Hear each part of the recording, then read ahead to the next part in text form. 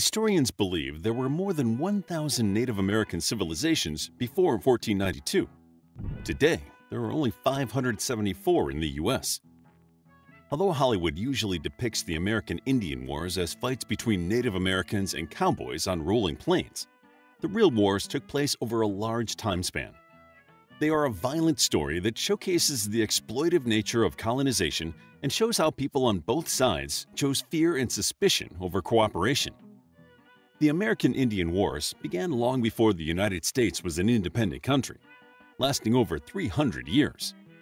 As the colonists arrived and the American people expanded west, they drove the Native Americans from their homeland, which they had had for thousands of years. These expansions and the battles with the native people shaped the United States in ways we still explore today. The American Indian Wars are still relevant. Studying them allows us to learn more about who we are and how to grow in the future. What were the American Indian Wars? The American Indian Wars were not the first conflicts between European colonists and people in North America.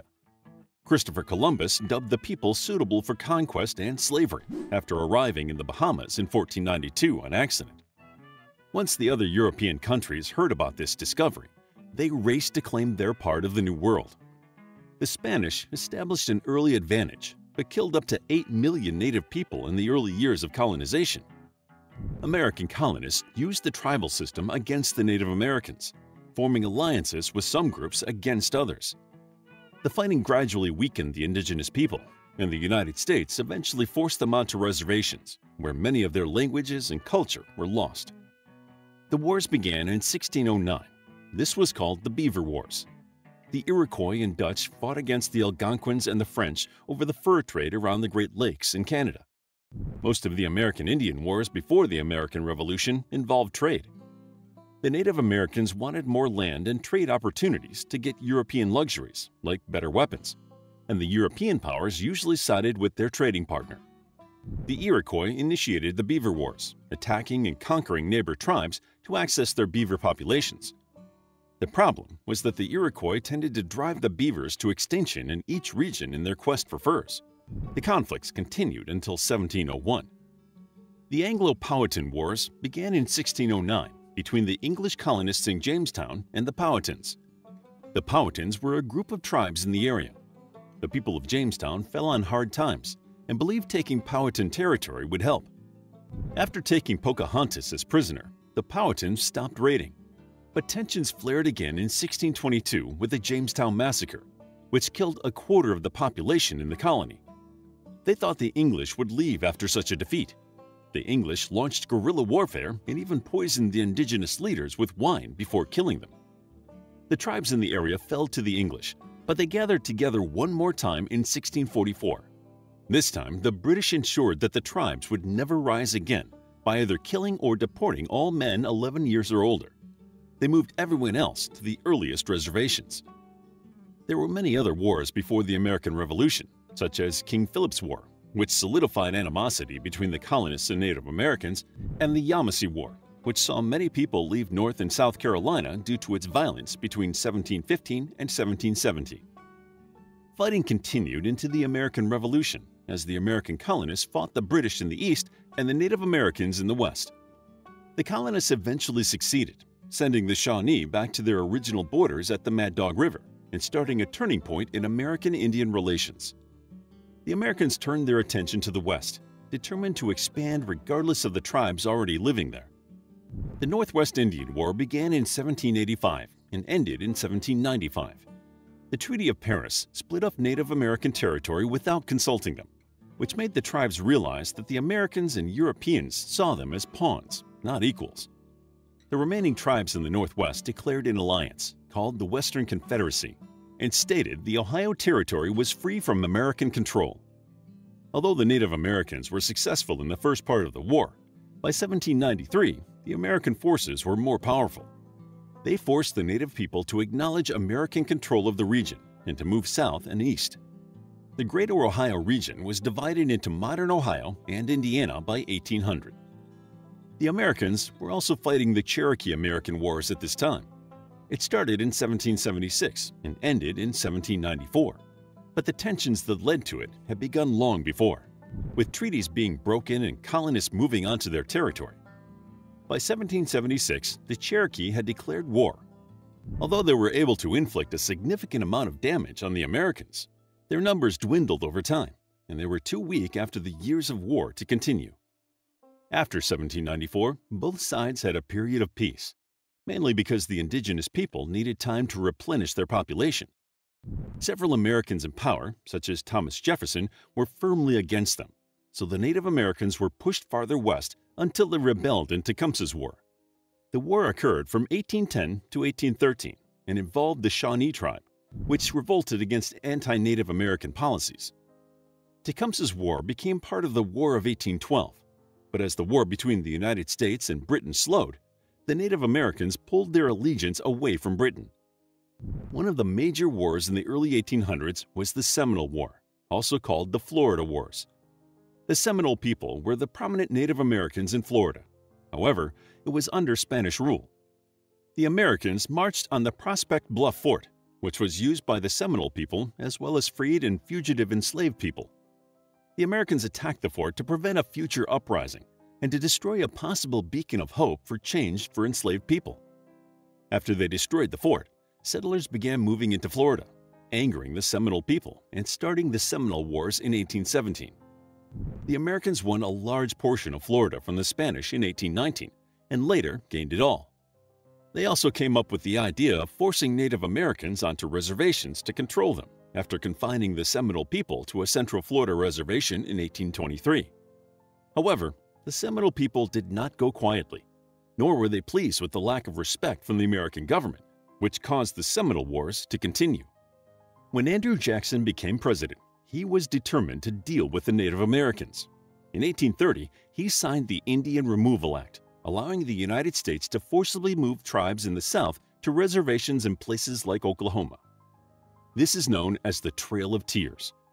Groups like the Cherokee and the Seminole resisted, but both were eventually relocated. However, some of the Seminole people are still in Florida today. The American Indian Wars spread across North America as the United States continued to push west. By the end of the 1800s, even the Western indigenous people were forced onto reservations.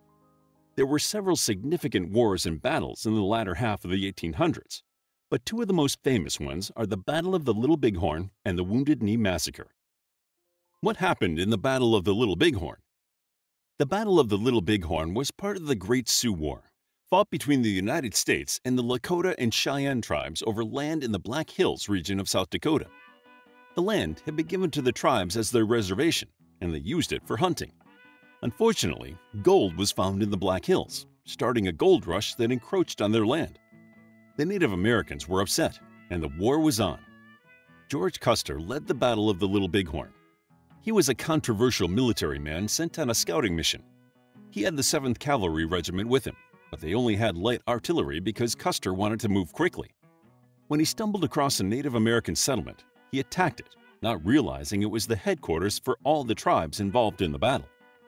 Custer also split his troops into three groups, intending to attack the village on three sides, capture women and children, and then force the Native American soldiers to surrender. However, two groups were pushed to Reno Hill, where they survived complete annihilation but could not assist Custer in his final stand. Custer's group had no survivors, so there are no accounts from the American perspective of the last few minutes of Custer's life. According to the Native American histories, Custer attempted to cross the river but was forced back, finally retreating to Custer Hill. The soldiers did not have swords for close combat, so the battle quickly became a complete disaster for them. Crazy Horse and his warriors broke through the skirmish line and won a sweeping victory.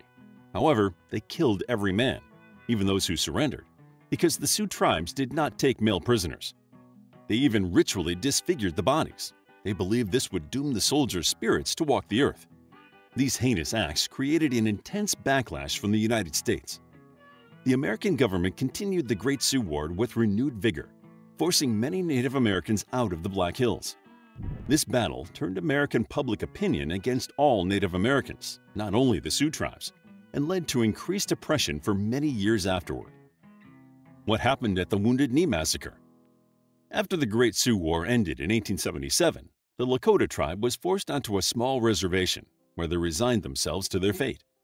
However, they soon heard about a new religious movement that translates as the Ghost Dance.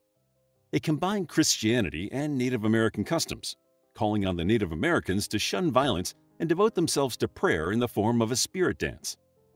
The ghost dance quickly spread to other indigenous tribes, which made the United States government leery. In the early 1890s, the Lakota people adopted it too, and the United States decided they had to deal with it. The first expedition into the reservations intended to capture Sitting Bull, one of the most famous Lakota leaders. He'd allowed his people to take up the new ghost dance movement, but when the reservation police tried to arrest him, Sitting Bull resisted and was shot. After his death, about 200 Lakota people fled to join Spotted Elk, another Sioux chief trying to get to Pine Ridge. They left on December 23rd, and the American military caught them on December 28th. They were taken to Wounded Knee Creek. The Americans discovered some weapons in the group, but they were mostly hunting rifles. As the discussion between the Lakota people and Colonel Forsyth became more argumentative, Yellowbird, a medicine man, began the ghost dance, which frightened the Americans. The soldiers conducted a second weapon search and found a gun with Black Coyote, a Lakota man who was deaf. He did not understand English and refused to give them his gun. A scuffle followed and a shot rang out. Suddenly, both groups were attacking each other, and within minutes, every Lakota person there was either dead or injured. There were 64 American casualties, many of those wounds from American weaponry. The Wounded Knee Massacre was a tragedy that was hushed up and is still not entirely taught today. It demonstrates the struggles and oppression the Native Americans had to live with during the American Indian Wars. These wars shaped American Indian relations. The U.S. government is still working through the consequences of it today with a more transparent look at the past to help repair these relations moving forward. How would you like to get a deeper understanding of history, impress your friends, and predict the future more accurately based on past events? If this sounds like something you might be into, then check out the brand new Captivating History Book Club by clicking the first link in the description. To learn more about the American Indian Wars, check out our book, The Indian Wars, a captivating guide to the American Indian Wars, Battle of Little Bighorn and Wounded Knee Massacre. It's available as an ebook, paperback, and audiobook. Also, grab your free Mythology Bundle ebook while it's still available. All links are in the description. If you enjoyed the video, please hit the like button and subscribe for more videos like this.